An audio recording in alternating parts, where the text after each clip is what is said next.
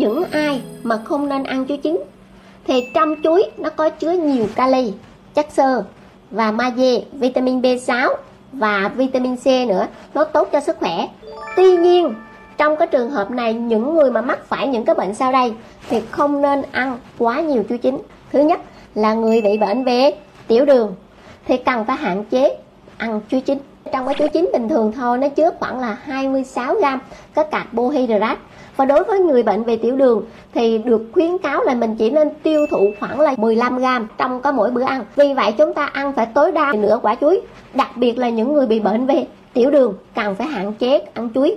Vì chuối chín nó sẽ làm tăng cái hàm lượng đường trong máu của chúng ta. Thứ hai, những người bị bệnh về dạ dày những người mà có tiền sử về bệnh đau dạ dày thì cũng cần phải hạn chế ăn chuối nha. Các cái loại chuối khác nó không nên ăn ở khi mà mình đói bởi vì cái hàm lượng cái beta in cao nó có trong chuối nó sẽ khiến cho cái lượng axit trong cái niêm mạc dạ dày này nó tiết ra và nó tăng cao lên.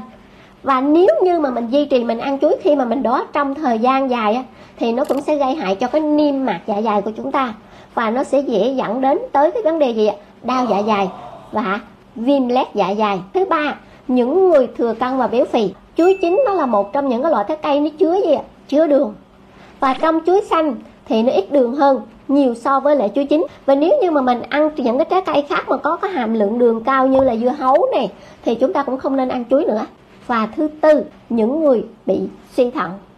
Bởi vì chuối nó rất tốt cho những sức khỏe, nhưng lại nó không phù hợp đối với những người bị bệnh về suy thận. Do là cái hàm lượng kali trong chuối cực kỳ cao luôn nha. Và nó ảnh hưởng nghiêm trọng đến cái chức năng thận của chúng ta.